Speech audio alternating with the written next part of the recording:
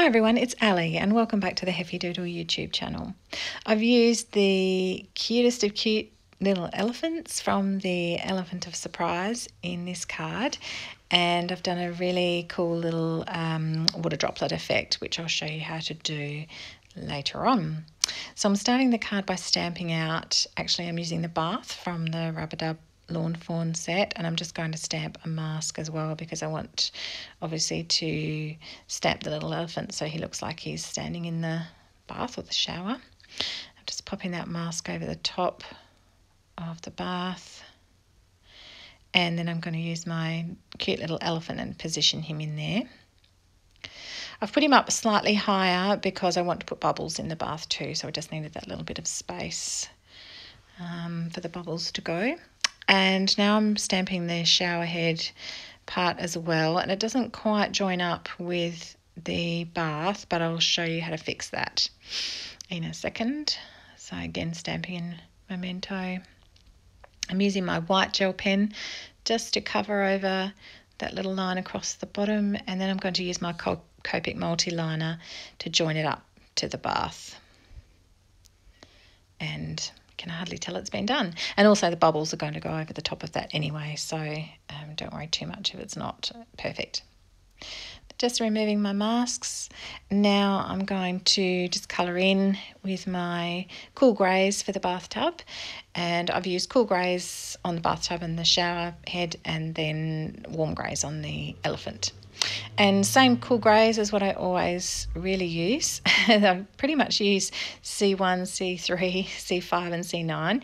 And I didn't bring any C, C9 into this one because I didn't want the tub to look too dark. So I think the darkest I went was the C5. Um, and sometimes use a bit of C7 as well. So I just didn't, yeah, didn't want it to look too dark. And then I actually took some colour away from the bath by using my C double zero in the end.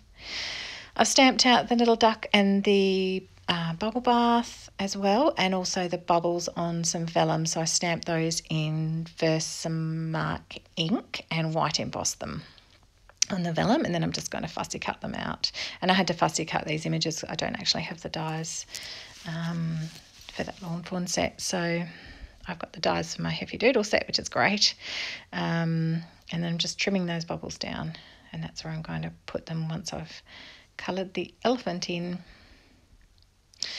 So now I've coloured all those other parts in, and I'm going to stick on the little bubbles and also the, the duck and the shampoo bottle.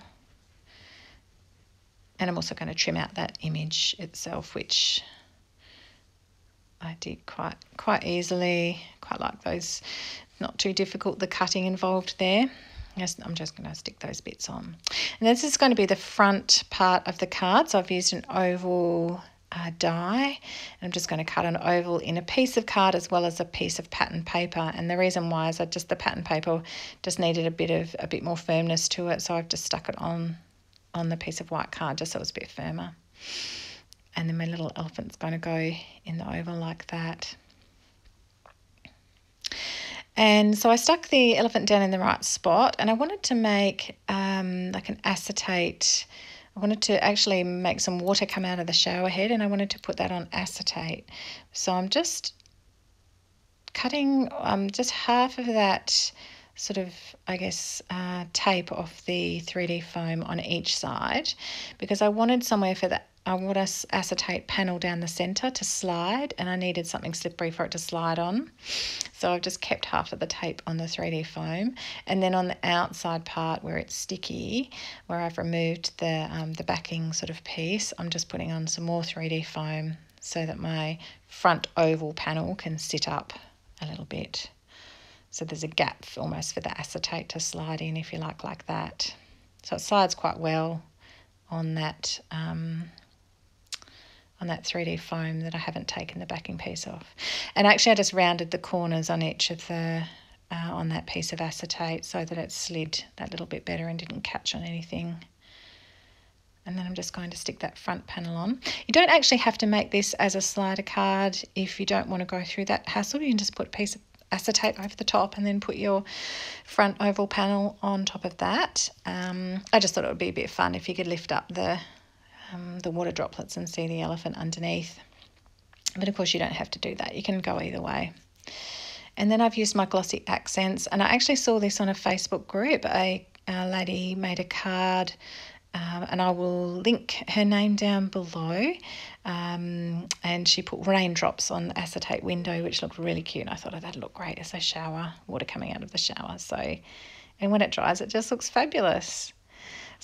I also stamped out the You're Elephantastic in uh, Versamark ink on white on black card, sorry, and white embossed it. So that finished off with the sentiment.